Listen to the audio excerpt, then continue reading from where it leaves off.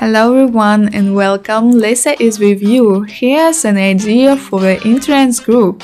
Here I did wooden insert perfectly combined with style. I decided to make the floor covering the uh, geometric pattern, the monochrome style with something interesting. Of course, I add flowers to all my buildings where create comfort. I also put boxes on top of the cabinets. It seems to me that everyone at home has some boxes on the cabinets. Put a like if you also have some boxes in your closet.